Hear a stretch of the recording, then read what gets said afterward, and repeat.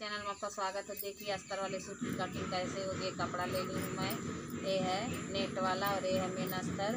और इसमें सलवार भी दिया है और इसके नाप का बनाना है। अब इसके पहले कमीज को रखना है और इसी के नाप का बनाना है मुझे।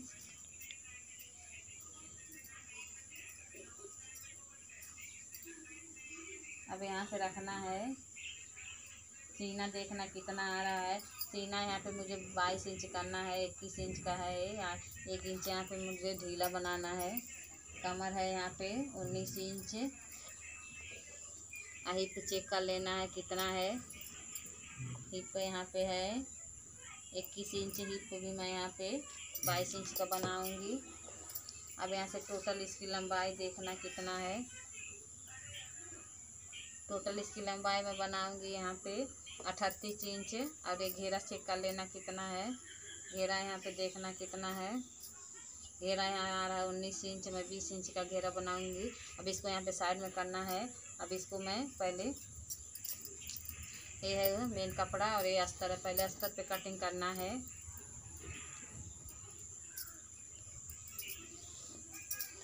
अब यहाँ से इसको पहले आगे वाले पार्ट की कटिंग करना है। अब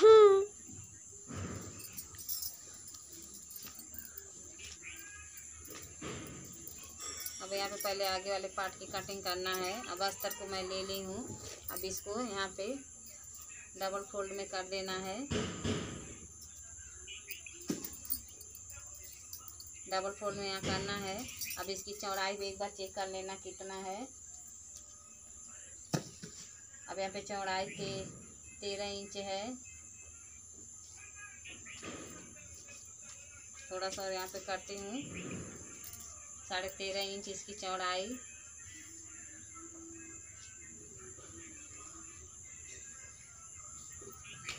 अब यहाँ से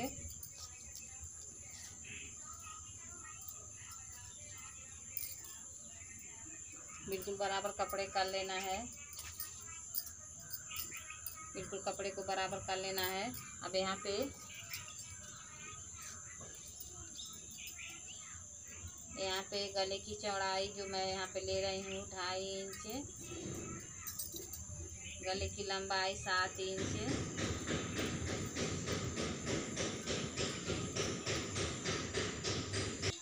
अब यहाँ पे गले की लंबाई मैं ली हूँ सात इंच। अब यहाँ पे टोटल तीरा मैं ले रही हूँ, साढ़े छः इंच। हारमोन मैं यहाँ पे ले रही हूँ सात इंच। ये मैं गला बकरम पे बनाऊँगी। सीना यहाँ पे है, बाईस इंच का तो यहाँ पे मैं ले रही हूँ डबल में ग्यारह इंच। अब ग्यारह इंच पे मार्का कर देना है। अब यहाँ से यहाँ से मैं ले रही हूँ कमर के लिए साढ़े तेरह इंच और एक बीस बीस इंच पे लगाना है। और टोटल कमीज की लंबाई यहाँ पे अठतीस इंच मैं तैयार करूँगी तो यहाँ पे मैं मार्का कर दे रही हूँ। और नीचे का घेरा मैं ले रही हूँ यहाँ पे। बीस इंच का, दस इंच पे मार्का कर रही हूँ। अब यहाँ कमर मैं ले रही हूँ यहाँ पे। उन्नीस इंच का है कमर तो यहाँ पे ले रहे हैं साढ़े नौ इंच। अब इसको भी सीधा मार्का कर देना है। हिप तो यहाँ पे बाईस इंच है तो यहाँ भी मैं ले रही हूँ। ग्यारह इंच। इसको भी सीधा मार्का कर देना है। और आधा इंच फ्रंट में लेना है। और यहाँ पे हारमोल की गोलाई बना देना है। और अंदर अंदर को साइड बना देना आ रहा है हारमोल की गोलाई। अब यहाँ पे फंटी को लेना है। और इसको यहाँ पे रखना है। और यहाँ से इसको मिला देना है। और ये दूसरे साइड भी मार्का कर देना है। अब इसको साइड में कर देना है। और यहाँ पे दो दो इंच एक्स्ट्रा मैं ली हूँ। अब इसको भी सीधा यहाँ पे मार्का कर देना है।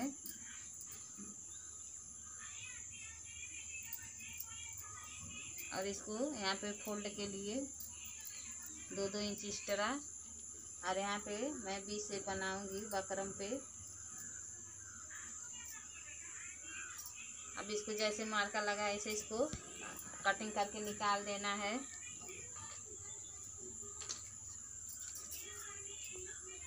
अब यहाँ पे जैसे मार्का लगा इसे इसको कटिंग करके निकाल देना है।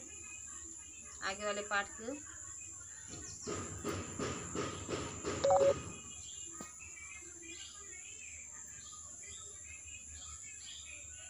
इसको कटिंग कर लेना है। अब एक पार्ट की कटिंग हो गई है। अब इसको साइड में करना है और ये दूसरे पार्ट को भी कटिंग कर लेना है। अब यहाँ पे इसकी चौड़ाई देख लेना है। तेरह, साढ़े तेरह इंच है। अब इसको एक्स्ट्रा कपड़े को साइड में कर देना बिल्कुल बराबर करना है और आगे वाले पार्ट को लेना है। और इसके ऊपर इसको बिछा देना, बराबर से सेंटर से सेंटर मिला देना है।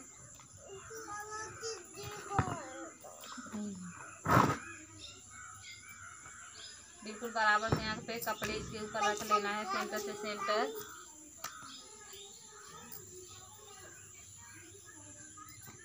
और यहाँ पे इसको कटिंग कर लेना है।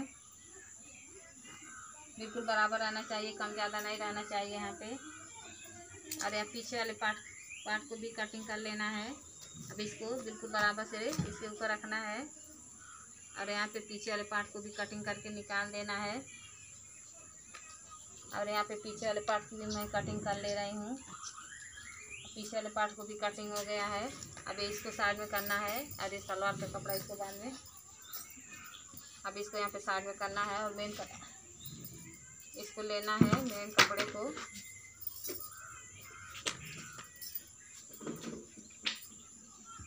यहाँ पे इसको बिछा देना है। मेन कपड़े को यहाँ पे डबल फोल्ड में ले लेना है।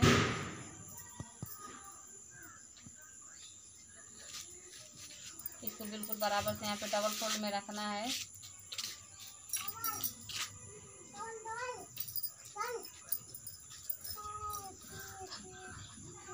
अब अस्तर को मैं रख ली हूँ मेन पार्ट पे, मेन कपड़े पे रख ली हूँ। अब इसको अस्तर को रखना है और इसको भी कटिंग करके निकाल देना है। बिल्कुल बराबर से कर लेना है। और यहाँ पे मेन कपड़े को भी कटिंग करके निकाल देना है।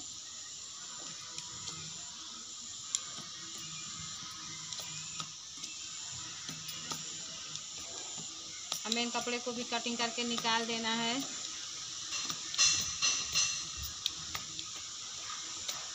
अब इसको साइड में कर देना है। अब आगे की कटिंग हो गई है, अब इसको पीछे वाले पार्ट को भी कटिंग कर लेना है। और ये पीछे वाला पार्ट इसको भी डबल फोल्ड में बिछा देना है। बिल्कुल बराबर से इसको डबल फोल्ड में कर लेना है।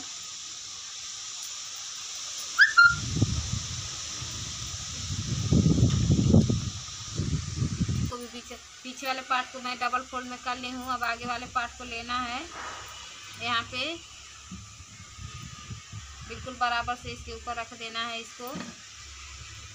यहाँ पे डबल फोल्ड में ये कपड़ा बहुत सरक रहा है, बहुत पतला कपड़ा है। और यहाँ पे इसको रखना है बिल्कुल बराबर से। अब इधर भी रख लेना, बिल्कुल बराबर से यहाँ पर।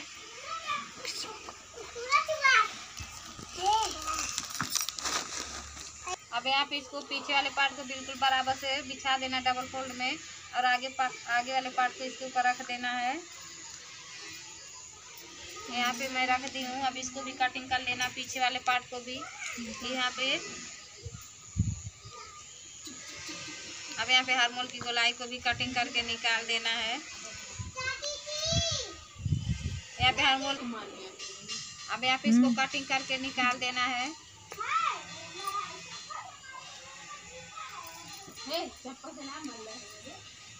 अब यहाँ पे इसको भी, पीछे वाले पार्ट को भी कटिंग करके निकाल देना है। अब इसको साइड में कर देना है। और पीछे वाले पार्ट की भी कटिंग हो गई है।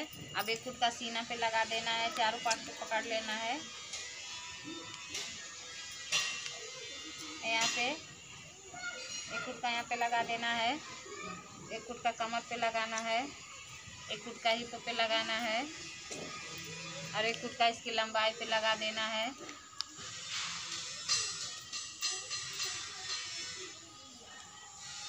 और यहाँ पे हारमोल की गोलाई चेक कर लेना कितना है। यहाँ पे हर मोल की गोलाई चेक कर लेना कितना है। और यहाँ पे आ रहा दस इंच जब इसको साइड में करना है और बाजू की भी कटिंग कर लेना है। अब इसको यहाँ पे मैं साइड में कर दे रही हूँ। और जो देखती हूँ जो बचा हुआ कपड़ा है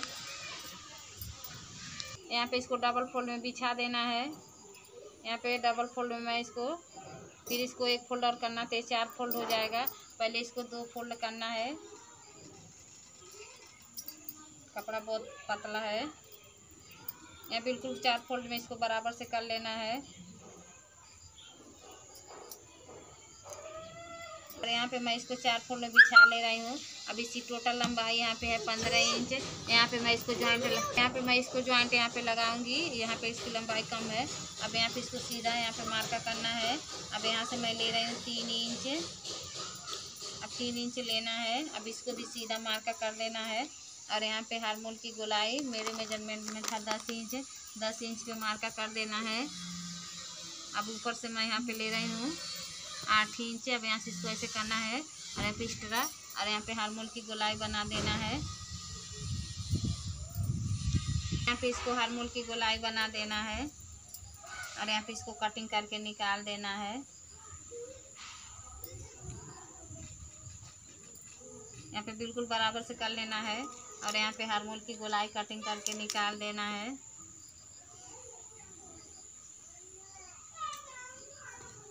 और यहाँ से एक्स्ट्रा कपड़े को भी साइड साइड से कटिंग करके निकाल देना है। अब यहाँ पे इसको साइड में करती हूँ और यहाँ पे ज्वाइंट लगाऊँगी। ये जो बचा हुआ कपड़ा है।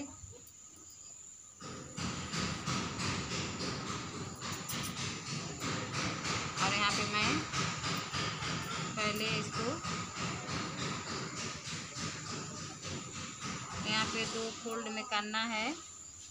यहाँ पे मैं चार फोल्ड में इसको यहाँ पे रख रही हूँ।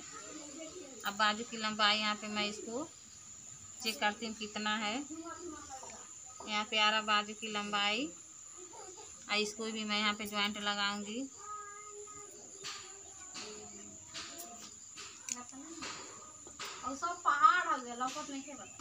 अब यहाँ पे मैं इसको चूनट वाला यहाँ पे बनाऊँगी बाजू की लंबाई बढ़ाने के लिए। जब मैं बाद बाद में जब स्टिच करूँगी तो दिखाऊँगी इसको कैसे यहाँ पे ज्वाइंट जो बचा हुआ कपड़ा इसका मैं यहाँ पे फिल बनाऊँगी। ये जो है बचा हुआ कपड़ा यहाँ पे ज्वाइंट लगा के यहाँ पे बढ़ा लूँगी इसको, यहाँ पे लंबाई। अब इसको अस्तर पे छोटा सा यहाँ पे अस्तर भी लगाना है, उसका भी कटिंग कर लेते हैं, अब इसको साइड में करना है। और इसमें से छोटा अस्तर।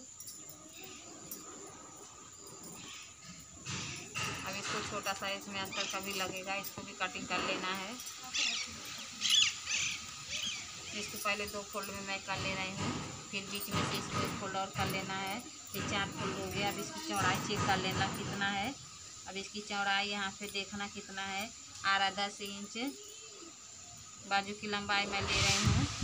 साढ़े छः इंच। अब इसको सीधा मार्का करना है। और यहाँ से ऊपर की अब इसमें गोलाई नहीं लेना क्योंकि यहाँ ज्वाइंट अब यहाँ से रखना है। अब यहाँ पर दस इंच मार्का करना है। और यहाँ से हारमोल की गोलाई बना देना है।